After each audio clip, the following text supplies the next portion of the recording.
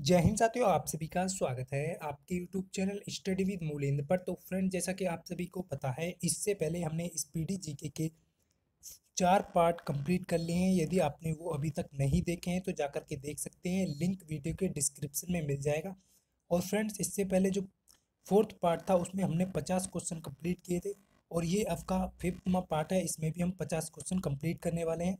तो फ्रेंड्स आपको इस श्रृंखला में दो हज़ार प्लस क्वेश्चन प्रोवाइड किए जाएँगे तो यदि अभी तक आपने हमारे चैनल को ज्वाइन नहीं किया है तो आप ज्वाइन कर सकते हैं। तो फ्रेंड्स ये प्रश्न काफ़ी महत्वपूर्ण होने वाले हैं, जो कि आपके अक्सर एग्ज़ाम में पूछे जाने वाले प्रश्न स्पीडी जीके के वन लाइनर क्वेश्चन यहाँ पर हम आपको प्रोवाइड करने वाले हैं। तो तो वीडियो को ज़्यादा से ज़्यादा शेयर करें, जिससे सभी स्टूडेंट इस वीडियो का आनंद ले सकें और परीक्षा में अधिक से अधिक अंक ला सकें। तो चलते हैं फ्रेंड्स बिना किसी टाइम को वेस्ट किए वीडियो को शुरू करते हैं।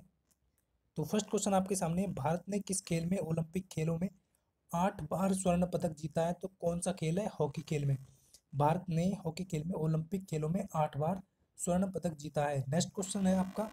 भारत ने आखिरी बार हॉकी में स्वर्ण पदक कहाँ और कब जीता? तो ये 1980 में जीता था। कहाँ पर? मास्को में जीता था। ये आपको यहाँ पर ध्यान रखना है, मास्को में 1980 ईस्वी में। नेक्स्ट है आपका यहाँ पर, ओलंपिक खेलों का जो आयोजन है कितने वर्ष के पश्चात होता है? तो चार वर्ष के बाद किया जाता है। नेक्स्ट क्वेश्चन है, अंतर्राष्ट्रीय ओलंपिक समिति का जो मुख्यालय है वो कहाँ स्थित है? तो ये लूसान में है, जो कि स्विट्जरलैंड के लूसान में इसका मुख्यालय स्थित है, ये आपको यहाँ पर ध्यान रखना है। नेक्स्ट क्वेश्चन है, ये परीक्षा में लिए गए क्वेश्चन ही हम आपको प्रोवाइड करने जा रहे हैं। तो फ्रेंड्स, यहाँ पर नेक्स्ट क्वेश्चन है 2012 में ओलंपिक खेल कहाँ हुए? तो लंदन में हुए हैं, फ्रेंड्स। ये जो 2012 में लंदन में हुए नेक्स्ट क्वेश्चन है, ओलंपिक ध्वज में कितने गोले हैं? ये भी एग्ज़ाम में कई बार पूछा गया है तो पाँच गोले हैं। ओलंपिक जो ध्वज है, उसमें पाँच गोले हैं। नेक्स्ट क्वेश्चन है, ओलंपिक में सर्वाधिक स्वर्ण पदक जीतने वाला खिलाड़ी कौन सा है? तो माइकल फेलेप्स, जो कि ओलंपिक, एक ओलंपिक में सब, सबसे अधिक स्वर्ण जीतने वाले खिलाड़ी हैं। नेक्स्ट क्वेश्चन है सन 2020 में ओलंपिक खेल कहाँ होंगे? तो ये जापान के टोक्यो में होंगे। ये आपका यहाँ पर राइट आंसर हो जाएगा। नेक्स्ट क्वेश्चन है। 2012 के ओलंपिक खेलों में कांस्य पदक जीतने वाली साइना नेहवाल का संबंध किस से खेल से है? तो बैडमिंटन से हो जाएगा, इनका राइट आंसर नेक्स्ट क्वेश्चन है। भारत ने ओलंपिक खेलों में पहली बार किस वर्ष भाग लिया था? तो सन 1900 ईस्वी में भारत ने पहली बार ओलंपिक खेलों में भाग लिया था। ये बहुत इंपॉर्टेंट है। नेक्स्ट है ओलंपिक खेलों में पदक जीतने वाली पहली भारतीय महिला खिलाड़ी कौन सी है? तो कर्णम मालेश्वरी। यहाँ पर आपका राइट आंसर हो जाएगा। जिन्होंने पहली बार भारतीय महिला खिलाड़ी हैं, जिन्होंने ओलंपिक में पदक जीता था। नेक्स्ट क्वेश्चन है। Back of the Vedas. तो वेदों की ओर लोटो। नारा किसने दिया था? तो महर्षि दयानंद सरस्वती जी ने दिया था। ये आपको यहाँ पर ध्यान रखना है। नेक्स्ट प्रसिद्ध झंडा गीत। झंडा ऊँचा रहे हमारा की रचना किसने की है? तो श्यामलाल गुप्त प्रसाद जी ने की है। नेक्स्ट क्वेश्चन है। पशुओं में मिल्क फीवर बीमारी किसकी कमी के कारण होती है? तो फ्रेंड्स ये कैल्शियम की जो कमी हो जाती है, उस कमी के कारण मिल्क फीवर बीमारी पशुओं में हो जाती है। नेक्स्ट क्वेश्चन है। मानव शरीर के किस अंग द्वारा यूरिया को रक्त से फ़िल्टर किया जाता है? तो गुर्दे जो मान, मानव शरीर के गुर्दे यानी कि किडनी द्वारा यूरिया को रक्त से फ़िल्टर किया जाता है। तो ये आपका यहाँ पर राइट आंसर हो जाएगा। नेक्स्ट किस एकमात्र भारतीय को अर्थशास्त्र में नोबेल पुरस्कार मिला है?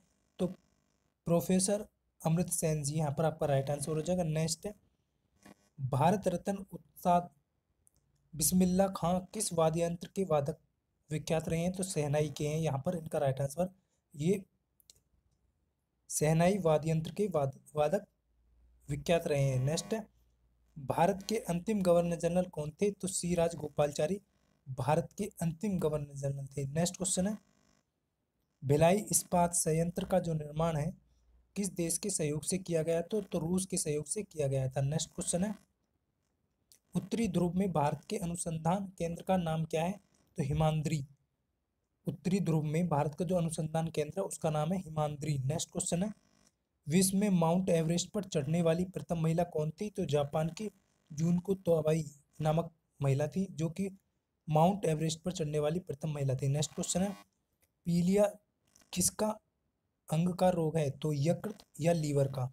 पीलिया किस अंग का रोग है? यकृत या लीवर? नेक्स्ट क्वेश्चन है, द्रव सभी दिशाओं में समान दाब पारित करता है, यह कथन किस नियम से संबंधित है? तो ये पास्कल का नियम से संबंधित है। नेक्स्ट क्वेश्चन है क्लोरोफिल का जो खनिज है, घटक है, वो क्या है? तो मैग्नीशियम।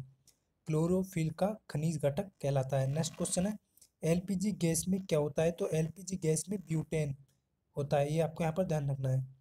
ब्यूटेन, प्रोपेन और मेथेन। नेक्स्ट देखेंगे, किसने सर्वप्रथम अशोक के अभिलेखों को पढ़ा है? तो जेम्स प्रिंसेप नामक व्यक्ति ने अशोक के लेखकों को पढ़ा है। नेक्स्ट क्वेश्चन है किस बौद्ध भिक्षु के प्रभाव से अशोक ने प्रथम, सॉरी सॉरी, बुद्ध धर्म ग्रहण किया? किस बौद्ध भिक्षु के प्रभाव से अशोक ने बौद्ध धर्म जो ग्रहण किया था तो उपतुगुप्त नेक्स्ट क्वेश्चन देखेंगे, कौन सा मुगल शासक, मुगल बादशाह अशिक्षित था? तो अकबर अकबर, यहाँ पर आपका राइट आंसर हो जाएगा। अमृत शहर अमृतसर शहर की स्थापना किसने की थी? तो गुरु रामदास जी ने की थी। नेक्स्ट क्वेश्चन देखेंगे, गदर पार्टी के संस्थापक कौन थे? तो लाला हरदयाल गुरु, जो कि गदर पार्टी के संस्थापक थे। नेक्स्ट है, सिख इतिहास में लंगर प्रथा किसने शुरू की थी? तो गुरु अंगद देव जी ने की थी। नेक्स्ट क्वेश्चन देखेंगे, सबसे प्राचीन वेद कौन सा है? तो ऋग्वेद सबसे प्राचीन है। नेक्स्ट क्वेश्चन है, किस सुल्तान ने अपनी राजधानी दिल्ली से दौलता स्थानांतरित की थी? तो मोहम्मद बिन तुगलक नामक बादशाह ने अपनी जो राजधानी थी, वो दिल्ली से दौलता स्थानांतरित की थी। नेक्स्ट देखेंगे। प्रथम पंचवर्षीय योजना कब आरंभ की गई? तो प्रथम जो पंचवर्षीय योजना थी, उन्नीस सौ इक्यावन में आरंभ की गई थी। नेक्स्ट क्वेश्चन देखेंगे फ्रेंड्स चीनी यात्री हैंसोंग ने किस विद्यालय में अध्ययन किया था? तो नालंदा विश्वविद्यालय में इसने अध्ययन किया था। नेक्स्ट क्वेश्चन है, कौन सा रक्त समूह सर्वदाता है? तो ओ सब, सर्वदाता कहलाता है, जबकि ए भी सर्वग्राही। नेक्स्ट क्वेश्चन देखेंगे, मनुष्य के शरीर में कितनी हड्डियाँ होती हैं? तो मनुष्य के शरीर में दो सौ छः हड्डियाँ होती हैं। नेक्स्ट क्वेश्चन देखेंगे, सूर्य के प्रकाश में कौन सा विटामिन प्राप्त होता है? तो सूर्य के प्रकाश से विटामिन डी प्राप्त होता है। नेक्स्ट क्वेश्चन देखेंगे फ्रेंड्स।